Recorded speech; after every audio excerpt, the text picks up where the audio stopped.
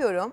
Suyumu koyuyorum sos tenceremin içerisine ocağın üstündeyken ardından sütümüzü koyuyoruz. Hem suyu hem sütümüzü kullanmamız bunun böyle orta yumuşaklıkta olacak demek. Ne yapıyorum? İçerisine tereyağımızı kullan koyuyoruz. Şöyle güzelce şu kenarlardakileri de alalım. Onu koyduk. Ardından toz şekerimizi koyuyoruz. Normalde şu hamurları da hani sadece tuz da kullanabilirsiniz. Toz şeker de kullanabilirsiniz. Şöyle toz şekerimizi koyduk. Ardından şöyle bir güzel karıştırıyorum ve ocağımızı orta ateşimize aldık. Ve tereyağımız eriyene kadar yavaş yavaş karıştırıyoruz.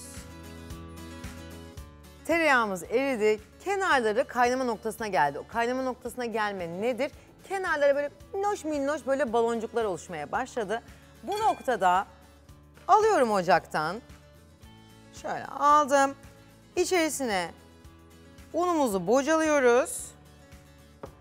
Ve eze eze bakın unumu eze eze şöyle şöyle karıştırıyorum. Üstüne bastırıyorum spatulamla.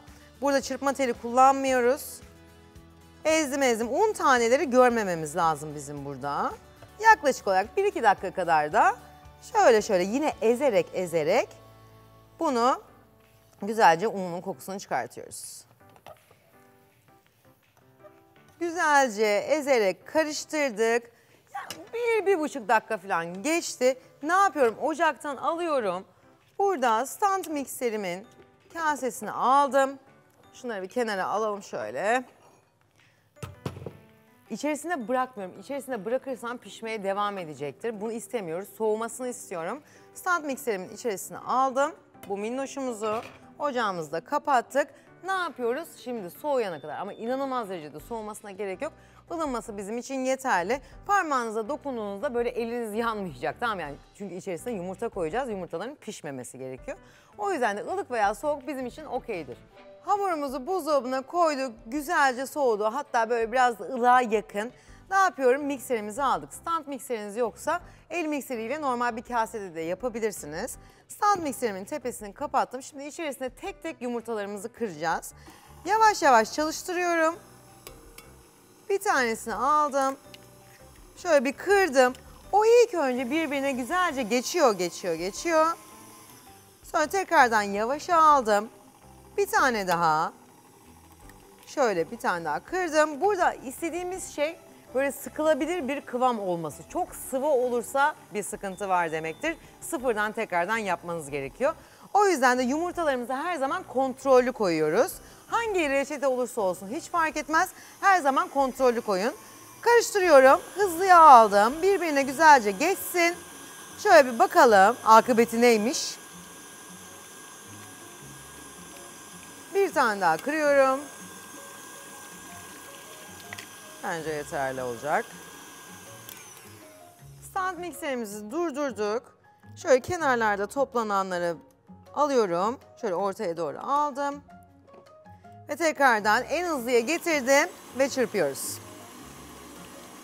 Şu, şu anda güzel gözüküyor fakat sıkarken bize sorun yaratacaktır ve biraz katı gibi duruyor. O yüzden de bir tane daha yumurtamı ekledim ve tekrardan en hızlıya alarak karıştırıyorum. Her zaman için kenarlardakileri de topluyoruz. Güzelce homojen bir karışım elde etmeye çalışıyoruz. Süper bir yapısı oldu. Bakın hafif akışkan ama inanılmaz da değil böyle su gibi de akmıyor. Şöyle çırpma telimizin ucunu temizledim. Alıyorum. Kasemizi çıkartalım şuradan.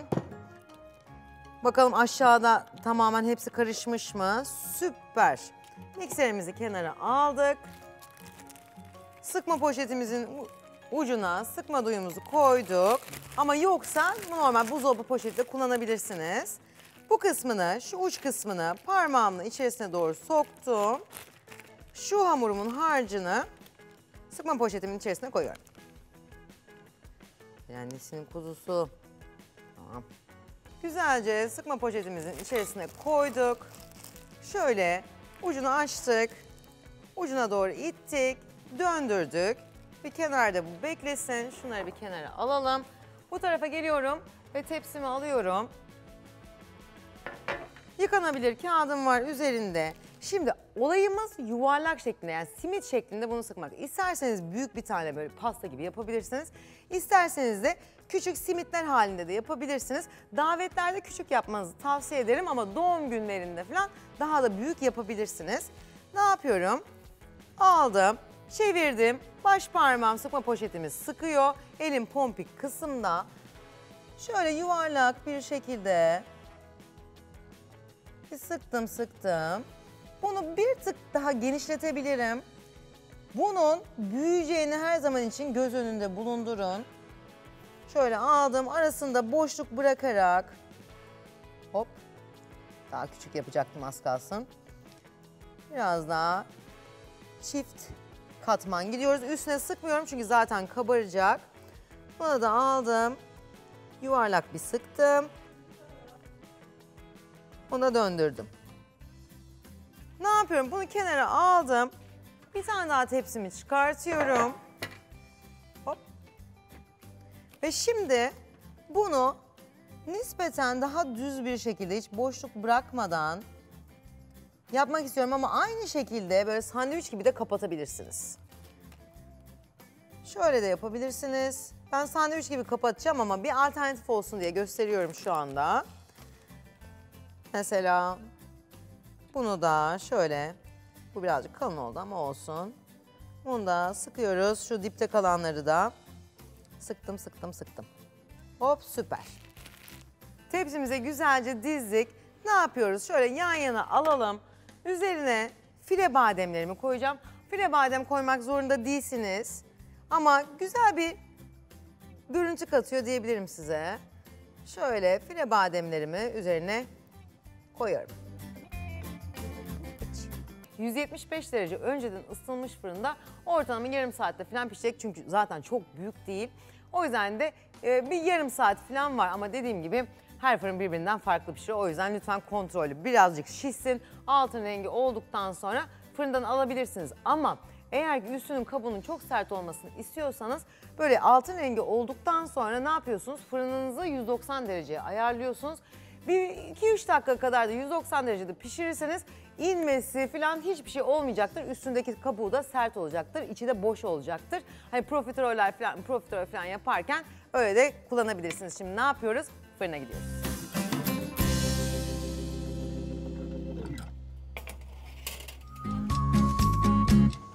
Ben Mari'de altına suyumuzu koyduk. Şöyle ocağımızı çalıştırıyoruz. Direktman böyle tencerede falan yapmıyoruz. Ben Mari'de pişireceğiz. Burada yumurta sarılarımı koydum.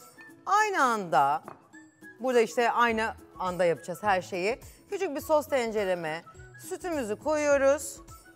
Bunu da çalıştıralım. Sütümüz kaynama noktasına gelecek. Kaynama noktasına gelme nedir? Bizim sektörümüzde skalt etmek diyoruz biz buna. Orada pişerken burada yumurta sarılarım var. İçerisine toz şekerimizi koyuyoruz. Ardından şöyle şöyle hatta spatulayı bir kenara bırakalım. Ne işimiz varsa spatulayla. Çırpma telimizi aldık. Karıştırdım, karıştırdım, karıştırdım. O birazcık şöyle bir durabilir. Sütümün kenarları balon balon olmaya başladı. Ne yapıyorum? Temperleyerek koyacağız. Azıcık bir koydum. Ardından geri kalan sütümü yavaş yavaş ısısını alıştıra alıştıra koymaya başladım. Geri kalan sütümü artık koyabilirim. Koydum, koydum, koydum. Sonra ne yapıyoruz? Unumuzu ekliyoruz. Güzelce onu da ekledik. Karıştırdım karıştırdım. Unu hiç görmeyeceğiz bu noktada.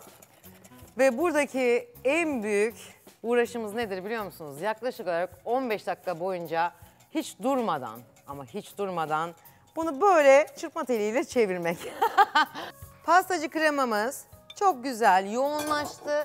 Burada ne yapıyoruz? Ocağın üstünden alıyoruz. Elinize dikkat edin. Getirdim. İçerisine şekerli vanilini koyuyorum. Burada istediğiniz aromayı kullanabilirsiniz. Kahve olur, nane olur. Nane kullanacaksınız. Birazcık yeşil gıda boyası kullanırsanız algıda şaşırtma yapmazsınız. Mesela kahve, kahve, tarçın, çikolata eritip kullanabilirsiniz. Bu size verdiğim ölçüye yaklaşık olarak 80 gram çikolata eritip kullanırsanız harikulade olacaktır. Bunu da güzelce karıştırdık. Bir yaklaşık olarak bir 200 saat kadar soğumasını bekliyoruz.